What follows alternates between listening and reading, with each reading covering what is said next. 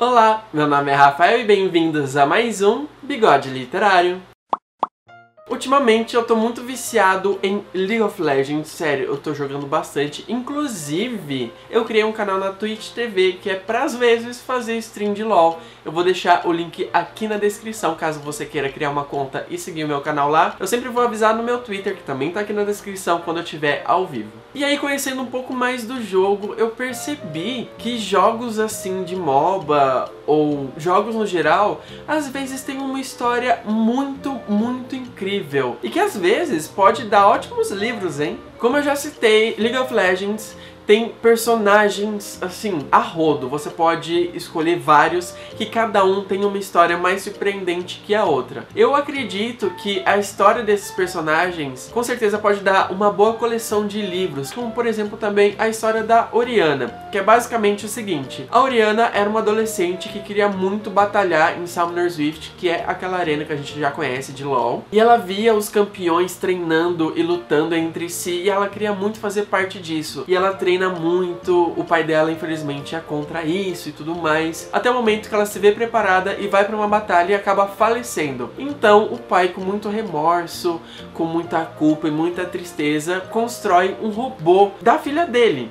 E aí, esse robô é incrivelmente poderoso e esse robô representa a vida da filha dele e esse robô vai pra luta. Então, assim, são histórias desse nível que Gente, imagina livros hiper aprofundados nessa história, o quão incrível que ia ser. E nesse mesmo universo a gente também tem Dota 2, que também tem personagens, tem heróis incrivelmente, incrivelmente mal aproveitados para uma história de livro, por exemplo. A gente tem a Crystal Maiden, a gente tem a Lina, que são personagens do gelo e do fogo. Se eu não me engano, elas são irmãs. Imagina uma história com essas duas, sabe? Seguindo a história que já tem no jogo, só que incrivelmente mais aprofundado. Meu Deus do céu, como eu queria livros desses jogos, sério. E outro jogo que, assim, já tem uma história, a gente conhece, mas não tem nada físico, não tem um livro disso, que é Overwatch. Eu acho incrível a história de Overwatch. O Fênix já fez vários vídeos contando a história desse jogo e a história de cada personagem, de onde eles vieram,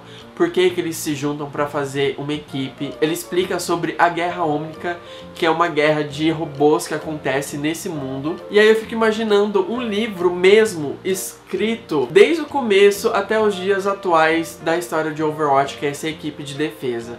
Meu Deus do céu, eu já fico pirando. Eu adoro assistir vídeo de Overwatch no YouTube e, gente, se tivesse um livro, eu ia comprar real.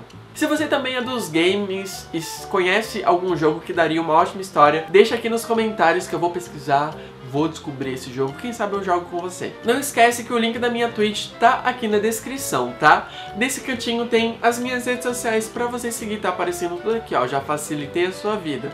Desse lado tem outros dois vídeos que eu acho que você vai gostar bastante, e embaixo das minhas redes sociais tem uma bolinha que é pra você se inscrever aqui no canal. Depois de inscrito, clica no sininho pra ativar as notificações, não perder nada do que eu postar. Um beijo e até o próximo vídeo.